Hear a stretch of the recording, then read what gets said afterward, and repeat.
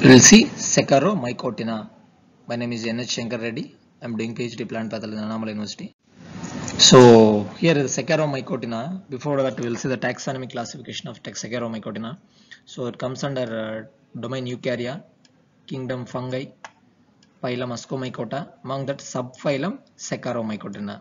In a previous uh, uh, you know previous presentation we have seen about Taphrinomycotina. Now we will see about Saccharomycotina.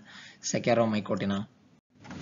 So uh, the most important uh, things that we have that we want to discuss in uh, uh, Saccharomycotina was about yeasts. So all yeasts are comes under this group Saccharomycotina.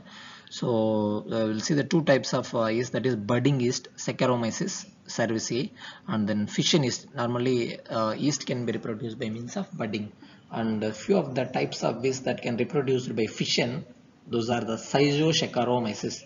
These are all the yeast that can reproduce by fission. That's why it's called as a fission yeast. So here uh, Ascomata is totally absent. The and the thing is Asca is not born on the Ascogenous hyphae that we have to uh, remember here. Ascomata is totally absent and Asca are not born on the Ascogenous hyphae.